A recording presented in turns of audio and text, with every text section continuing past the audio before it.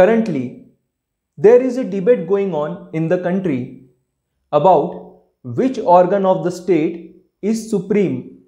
Is it executive, legislative or the judiciary? Every day, news comes about the growing discord and resentment between executive and legislative on one hand and the judiciary on the other. Let's find out what this issue is all about.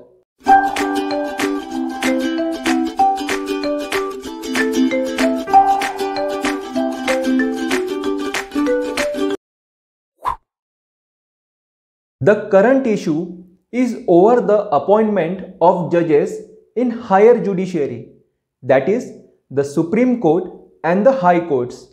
The executive and legislative want to have their representation in matters of such judicial appointments. But the judiciary opposes this notion. In the syllabus of General Studies Paper 2 of Mains exam, there are these topics which cover these happenings. Therefore, it is important to cover this issue in depth. The present composition of Supreme Court is 1 Chief Justice of India and 33 other judges, thus making a total of 34 judges. These judges are appointed by the President of India. As per the verdict given by the Supreme Court in the second judge's case 1993, only the senior most judge of the Supreme Court is to be appointed as the Chief Justice of India. The other judges of the Supreme Court are appointed through a collegium system. The collegium for the appointment of judges to Supreme Court comprises of the Chief Justice of India and four senior most judges of the Supreme Court. That is a total of five judges of Supreme Court.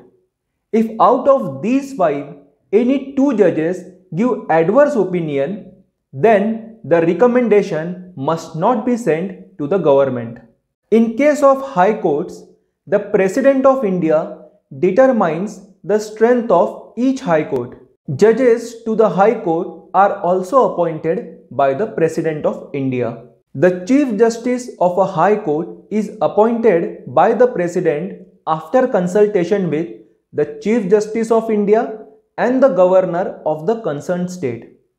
However, as per the verdict given by the Supreme Court in the third judge's case of 1998, the Chief Justice of India is mandated to consult two senior most judges of the Supreme Court before expressing his opinion to the President.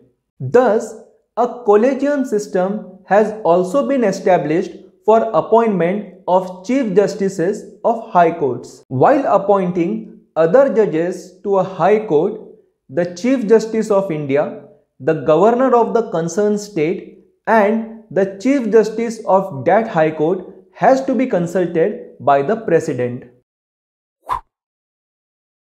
The 99th Constitutional Amendment Act which introduced Articles 124A, 124B and 124C in the Indian Constitution itself is known as the National Judicial Appointment Commission Act. It was introduced in the year 2014 by the ruling NDA government in the parliament. It was passed by both the houses of the parliament and also ratified by 16 states.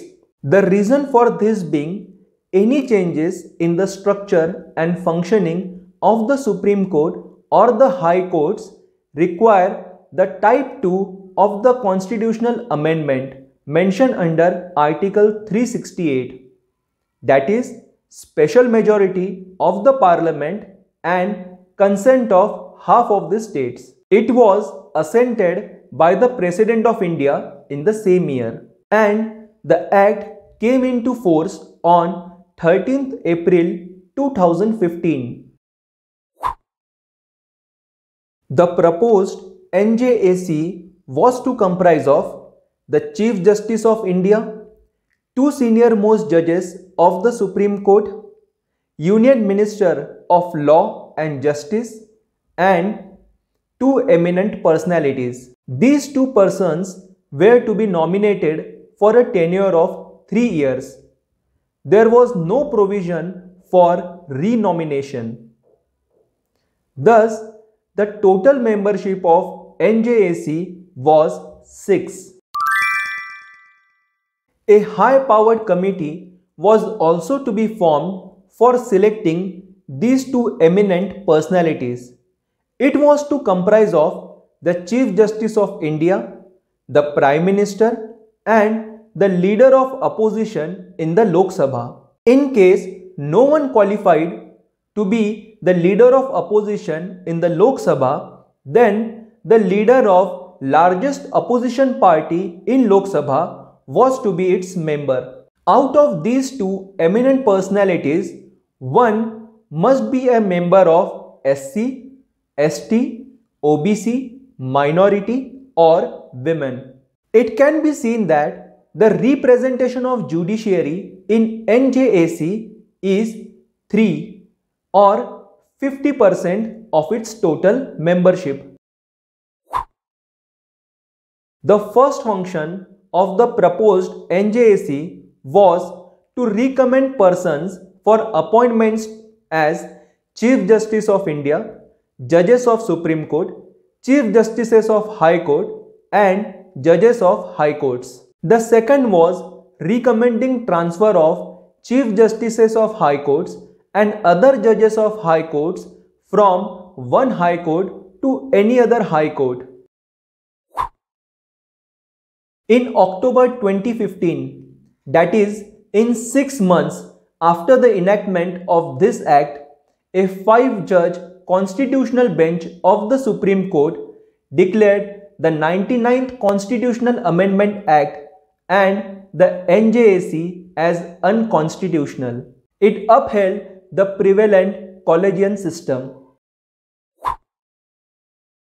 The collegium system has facilitated the separation of power between the different organs of the state. Since the judiciary does not directly get involved in the appointment of members to the legislative or the executive wings of the state, therefore these wings shall not also interfere in the appointment to the judiciary. The prevalent system has also ensured independence of judiciary.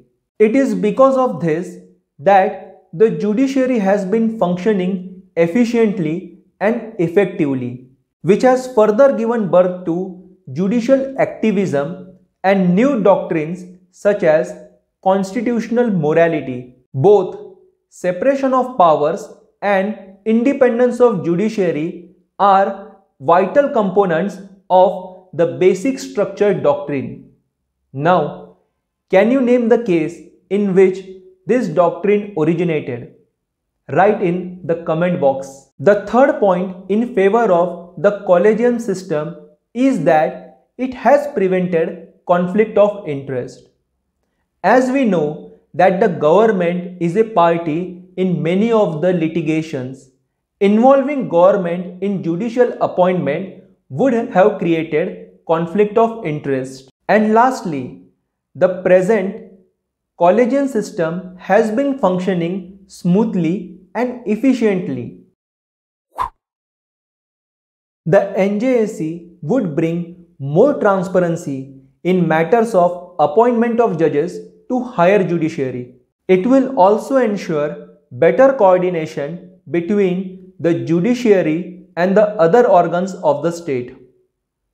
It may help to tackle issues such as delayed appointments of judges to higher judiciary by the government and inaction by the government over some of the recommendations of the higher judiciary. The NJAC will also facilitate the involvement of marginalized sections of the society such as the SC, ST, minorities, OBC and women in matters of judicial appointments. Justice Chelameswar, who was the only judge in the five judge constitutional bench of the Supreme Court who dissented to the Supreme Court's verdict, also favored NJAC on the basis of its merits. Since this issue has been in news for quite some time now and also it is very closely linked to the syllabus, there is a likelihood that UPSC may ask a question on it in prelims or mains examination. For prelims, it may ask factual type questions. For example, the composition of the proposed NJAC. For mains, it may ask you to discuss the issue or to analyze it. While writing the conclusion, I advise you not to take any extreme view. That is to say, not to favor the collegium system completely or the NJAC. You need to have a balanced approach. The reason is, if you take any one stand and it contradicts the stand of the one who is evaluating your paper, then he may give you some marks less. We do not want that to happen. Therefore, take a balanced approach. Even if you personally favor the collegium system or the NJAC, do not write it openly. This is where your diplomatic skills are to be used. You may write that the present system has been working fine but it needs to be refined and modified. The NJAC could be a better option. Or you can write that NJAC is a good notion but it should not be implemented by a mere legislation. A process of consensus building among all the stakeholders must precede such enactment. And lastly, you can conclude by saying that an independent and efficient judicial system is a prerequisite to any progressive and inclusive society. If you have liked this lecture, then please like and subscribe to the channel. Thank you.